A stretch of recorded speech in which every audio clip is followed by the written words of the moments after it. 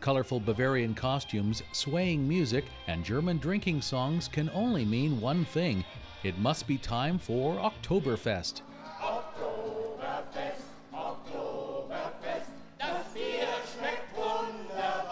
A 200 year old tradition that began as a celebration for the wedding of King Ludwig of Bavaria.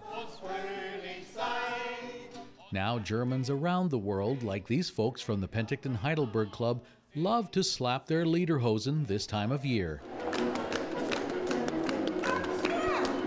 They wear it also when they go in the bush to chop wood or on the meadows and so on, and it's the toughest material, of course.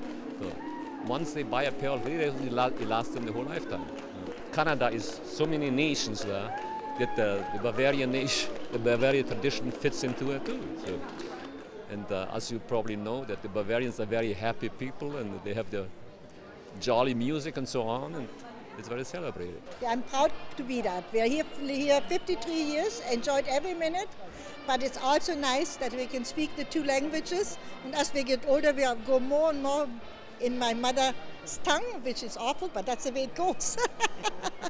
Centered in Munich, Germany, Oktoberfest is one of the world's largest gatherings, and German Canadians like these folks will hold their own Oktoberfest event on Saturday, October 27th in Penticton.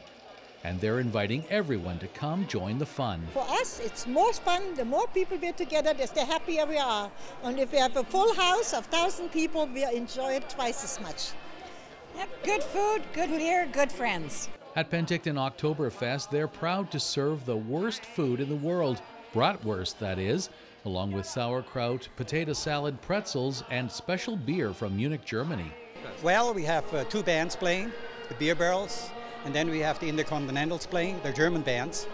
And uh, we have uh, German beer directly from Germany. Matter of fact, it is from the Oktoberfest in Germany, from München, where we get the beer from.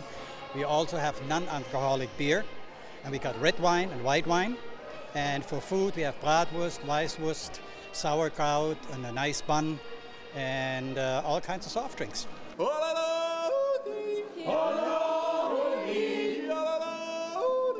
As demonstrated here by Bert Betchert, yodeling is a musical tradition right out of the Bavarian Alps, used to communicate between the herder and his stock.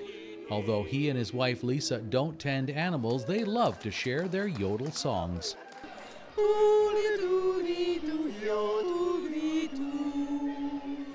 We're all Canadians, we're German Canadians, every one of us, and just come out and have a really lot of fun. That's what it's all about. Just a lot of fun.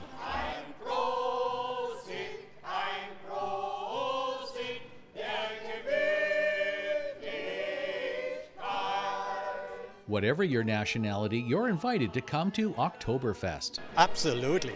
To learn the German traditions, there's nothing wrong with that. Uh, our customs, our way of life, the same as we go out and see other people's way of life. Uh, it's going to be great.